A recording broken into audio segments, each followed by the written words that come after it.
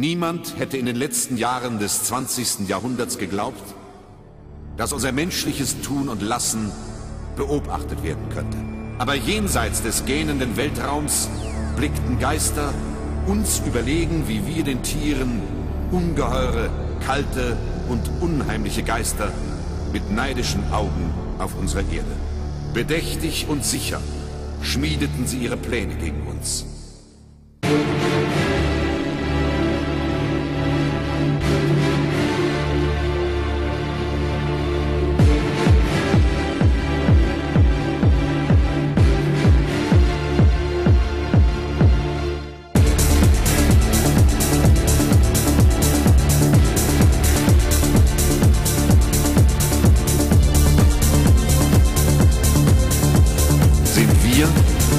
Oder sie die Herren des Heils?